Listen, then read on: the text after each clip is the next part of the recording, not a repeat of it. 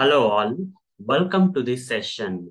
In this session, I'm going to answer one of the Selenium interview questions. That is how to verify the background color of an element in Selenium automation.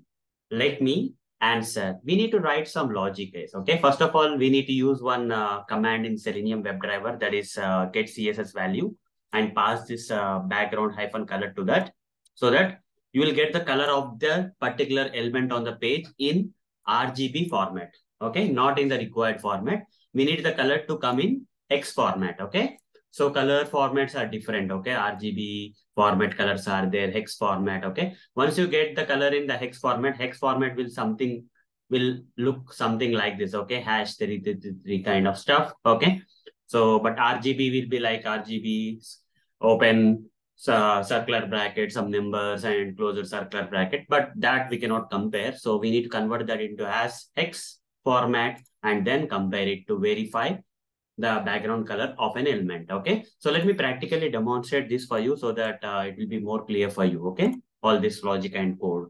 For that, I'll switch to this Eclipse IDE where we have the sample project.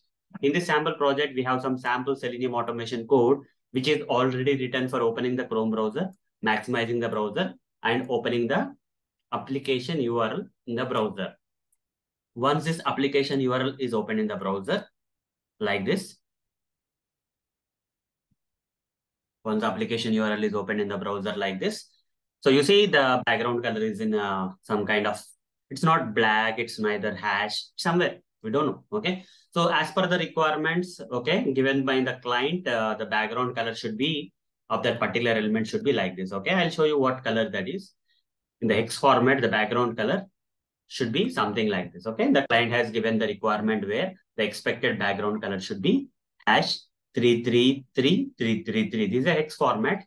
Okay, hex. And uh, you can see somewhere here, this is a circle, this is a somewhere area. Okay, and uh, what kind of color that is and all. Okay, if you want to explore more, it's X color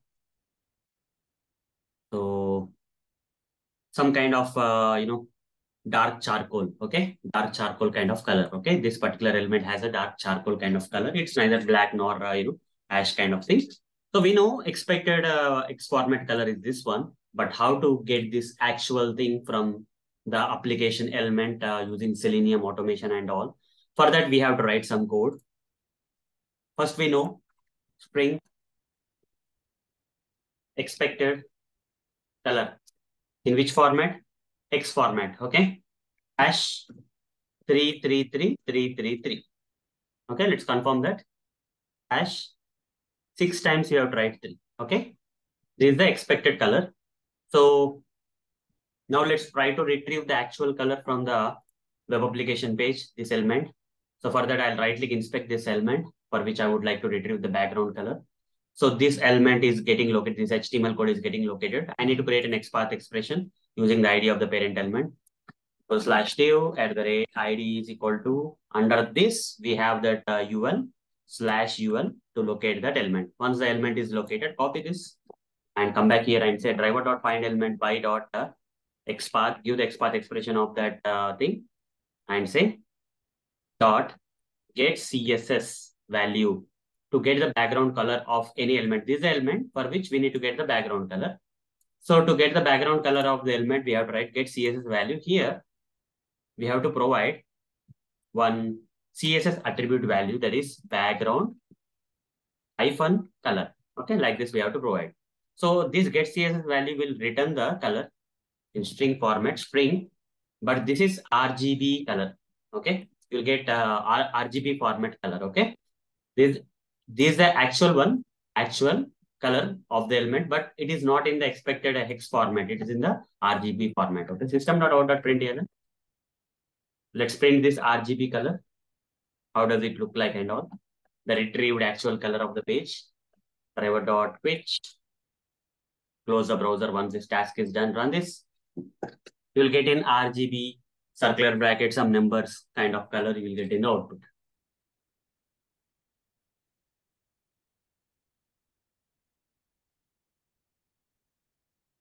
You see, you got the output. Actual color we got in RGBA format. Okay, it's not RGB, it's RGBA. It's RGBA format color we got. Okay. This format we have to convert into hex format. How to convert that? Okay. For that we have to write this logic. That is color dot. Okay. From string. First we need to convert this uh, RGBA color to color, selenium color. Okay. So for that what we do is uh, color dot. Okay. What is that? Color dot for uh, from string. Okay. From string. From the string, convert into the color. Put a semicolon here and pass this RGBA color. And uh, the return type is, uh, let's say color. For the return type of this from, from string is color again over the mouse and say create local variable, you'll get this color here. This color is coming from Selenium library. Make sure you are importing this from Selenium library. If, if, it, if it gets imported from any other library, ignore that and try to import it from Selenium, okay? Support dot selenium dot support dot color, okay? Like that. Now it's very easy for converting this uh, color to the hex format. For that, we have to write color dot asHex. That's it, okay? Color dot has x sorry, color dot has x. It will return you the color in the uh, x format in string. Okay, string uh, x color. Okay, this RGBA format color. This x. Uh, okay, this actual color only. Actual color in RGBA format. Here also x is actual color. Actual color of the element on the application page, but it is in X format. Got converted into the hex format. Okay. Now let's print it out and see how does it look like. Okay. Okay, now run this. How the X color, actual color, X color will be printed after converting from the RGBA type of format color color to the X color. We'll see in the output console. You see the way we want. Okay, hash this is expected one, right? That's actual also is coming as expected. Now let's compare that. How to compare this uh, uh, thing? It's very easy to compare. This is expected color. This is actual color. Simple words. Okay. So I'll simply change it to actual color. Okay. Now we know what is actual color and all. So now I'll simply use uh, TestNG assertions like Assert dot assert equals. And here the uh, expected color is this one, which is in X format and actual color in X format is this one. I think first we need to write the actual. Okay, I think actual should be first. And this is expected. Expected color should be next. Put a semicolon. If both are equal, then the test will pass. If they are not equal, the test will fail. That's it. Run it.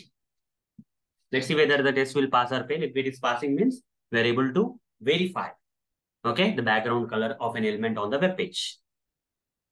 That will be the final code. Let's see whether the test got passed or failed. The test got passed. Okay, the test got passed because the colors were matching. Okay, so hope guys you got the answer for this question. Okay, that is how to verify the background color of an element. So it looks simple, but we have to write some logic and conversions and all those stuff. This is the simplest way I feel. Okay, there are other type of logics available to convert. Okay, in if you go with uh, some programming logic, uh, converting from RGBA to XIS, you can write some, you know, a lengthy code also for that. But uh, this makes very simple, okay? Uh, this is very, uh, just by two lines, you can convert uh, the RGBA color format to the X format. But there's other way also, but this is the simplest and easiest way, okay, to do so. So that's all for this session. Thank you. Bye-bye.